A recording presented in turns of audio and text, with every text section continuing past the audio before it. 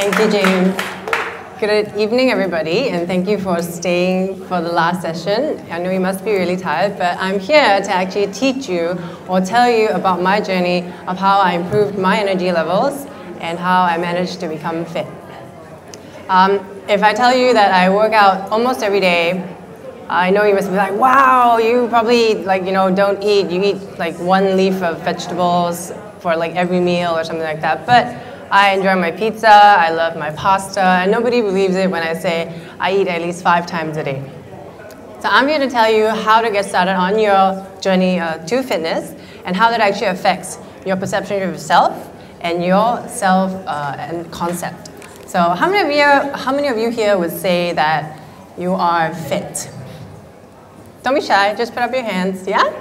Very good. When then, if you say you're a fit, what is your definition of fitness? Do you mind just sharing with me? No, um, I think it's a balance between um, actual exercise physically and mm -hmm. then mentally with meditation and the food that I take. So that works for me.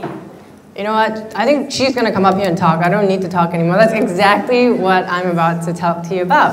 How fitness is not just about your body, but also your mental and your emotional health. How about you? You just said you're fit, right? What is your definition of fitness? You don't need to say the same thing because everyone has their own definition of fitness.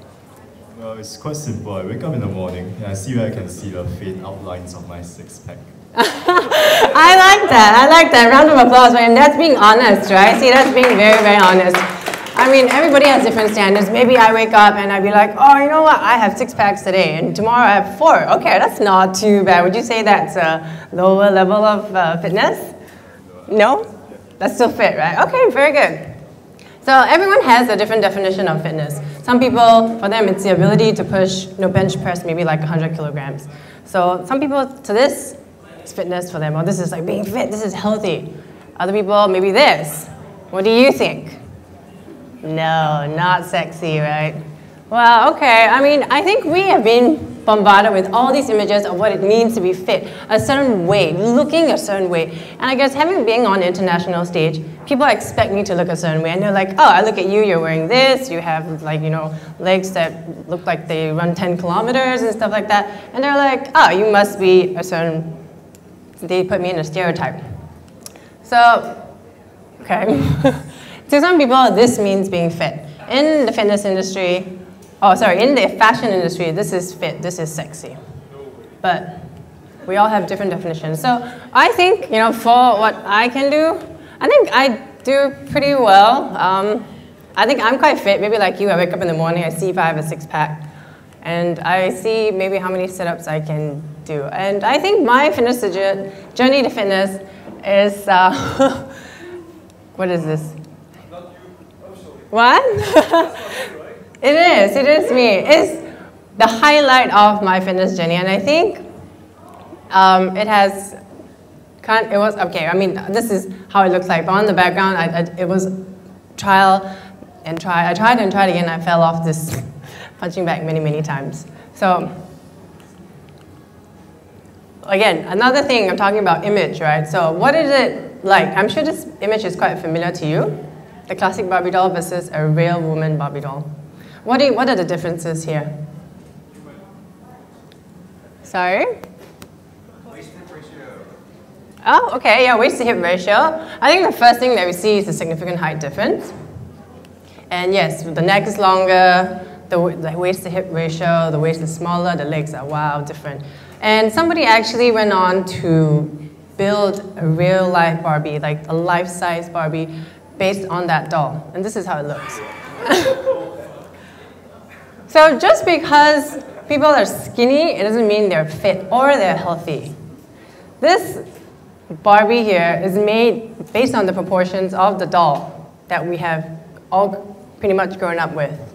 This Barbie has 18 inches of waist, 39 inches of a bust, and she's like, I think, more than six foot tall. Is that humanly possible, or is that even fit? Is that considered fit or healthy to you?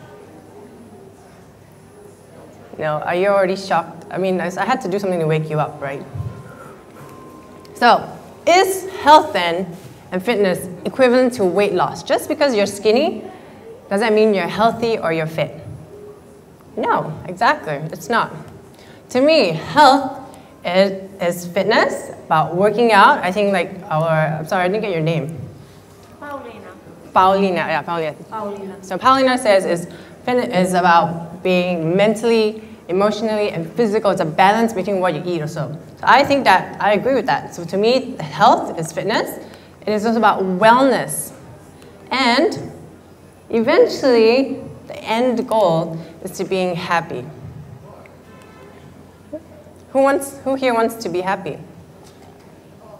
All of us want to be happy, right? Yay! Cheers for being happy. so that's what I mean. Fitness means being healthy. And I know it sounds like a very abstract concept, but let's just try and break down fitness into 10 different elements, according to the fitness industry. It is about cardiovascular respiratory endurance, stamina, strength, power, speed, coordination, agility, balance, accuracy, and flexibility. It seems like a lot. And in fact, we actually use each one of these on a daily basis, all in different proportions. We have to balance when we walk. We have to be flexible when we bend down to pick up stuff, when we have to pick up bags, because flexibility is the ability to maximize the range of motion in a joint, whether it's your arms, your neck, your legs. If you go up the steps, how flexible are you to step from one step to maybe three steps up the, on the staircase, right? And then power. You use power whether it's to open, sorry, whether it's to open the jar, to push a door, to push your furniture, strength to carry things, to apply force to certain things. Whether you're pushing somebody, you're pushing your way out of a crowd, you're pushing the door, you need strength. And what about stamina? Anybody want to throw me some suggestions of how you can use stamina?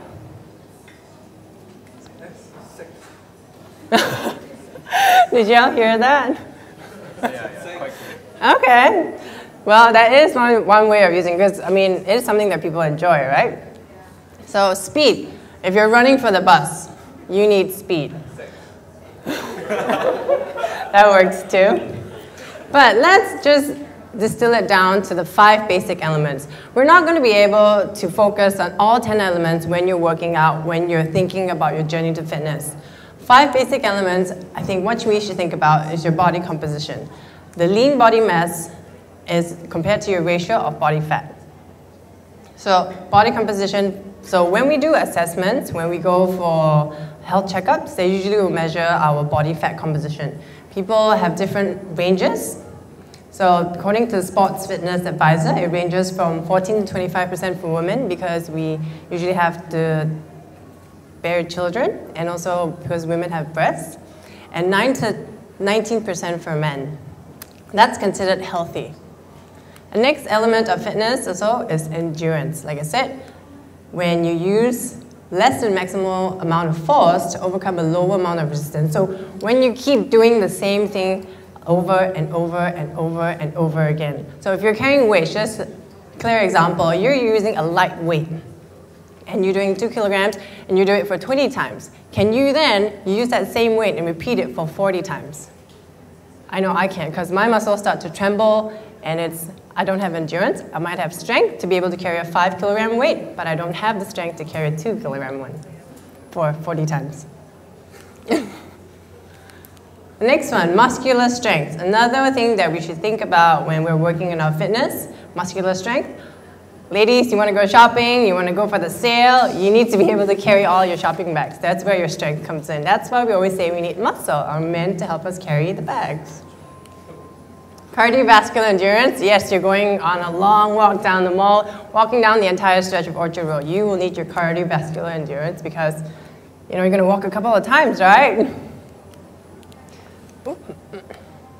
Last one, flexibility. When you're going to try and reach for that bag that's way up high on the shelves, you need your flexibility. You're going to have to bend your bend, uh, tiptoe, you're going to stretch, you're going to bend down, pick something out. Even in the supermarket, you have to navigate, you have to move, you have to twist and turn. So I think the last element of fitness, that, which is very important, is flexibility. So how do you start? It seems like I'm telling you, you know, there's all these things, agility, there's balance, there's all this stuff. Pick one element to start with. If you want to work in your flexibility, focus on that. Every day, practice one step, push your boundaries. If you, some people can't touch your toes, right? What you can do, just practice every day, push, push, push, and then eventually, obviously, Rome wasn't built in a day. So your flexibility is not going to come overnight. If you do that, it's going to harm you. Next one, celebrate every victory.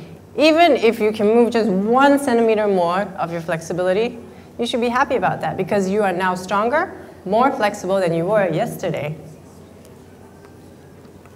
With social media and with technology, what you can do to celebrate this victory is to share it with your friends. Whether you're telling your family members, you're writing on Facebook, whether you're tweeting about it, share with your friends because people encourage you, they will motivate you, and it's positive reinforcement. They'll be like, oh, wow, well done. So it helps you feel better about yourself because you're actually trying and you're working hard towards your goal. And for me, I think this one is a, one of the most important things too. Instead of just thinking of health as weight loss, think of health and fitness as your overall wellness. When I started on my journey to fitness, I didn't think like, oh, I wanted to lose weight. Losing weight was not my goal. I wanted a better quality of life. I wanted to be healthier, so I ate better. I ate cleaner. I didn't eat a lot of fried food. I cut out junk food from my diet, and the weight loss just came. It's the same as talking to a lot of entrepreneurs these days. They tell me their goal was never to make a lot of money. Their goal was to change the world, and they wanted to follow their passion. So it's the same thing with health and fitness. If you want to reach your goal, think about overall wellness because that will improve your quality of life. Any questions at this point? No? All right, let's move on. So then, how does this fitness thing relate to your perception of self? What does it then mean? Like I said, breaking it down, being fit is about being, having emotional health, mental health, and the physical health. So we've covered that part about being physically fit, all the different elements about being flexible, agile, and having your balance and your stamina, all for maybe sex. or other things. Let me just share with you a story about my journey at, um, during the Miss Universe Singapore and international competition. So this was taken before I left for Brazil. This was in Brazil in April and in September. So it wasn't an overnight thing, obviously. So the time difference here is about seven months.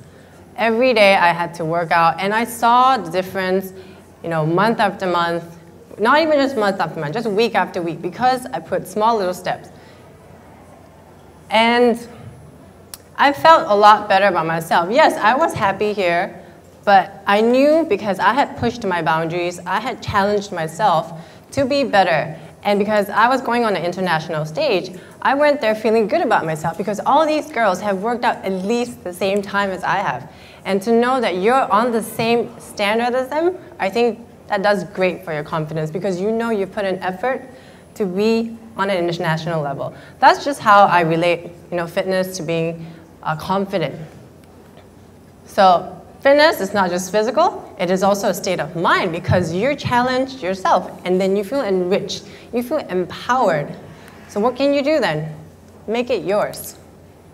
Because being fit is a state that you can achieve from your mind.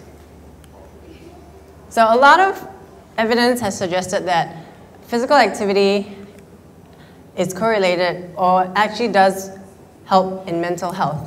So strongest evidence suggests that physical activity and exercise alleviate some symptoms associated with mild to moderate depression. And at the same time here, improve self-image, social skills, and cognitive functioning. Another one here, general findings indicated exercise is associated with improvements in mental health, including mood state and self-esteem. What about over here?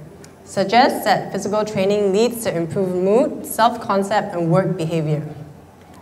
Although it has been less clear on cognitive functioning. So why, why, why do you exercise? How do you feel after you exercise? Strong. Strong? Shout it out. I want to hear words. Awesome. Awesome. I like that. Fresh. Very good. See, these are positive words you should keep in mind after you finish your exercise because for me, it makes me feel faster. Let's all read it out together. It makes me feel? Very good. Yeah, I run faster each time I train because you're pushing your physical limits. And when you do that, you know that you have, when you do run faster, you know that you've actually achieved and overcome yourself. You are your biggest competitor. So what else? It makes me feel stronger. Yeah, I push the boundaries and carry more weight. See, it's so heavy that the weight already fell off.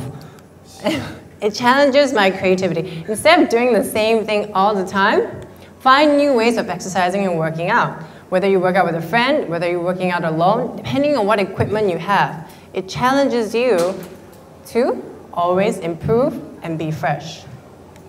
Last but not least, I know this is very important to me, it makes me feel happy. How many of you feel happy when you work out? When, when you're fit? Very good. I like that. And we do it because we want to and because we enjoy it.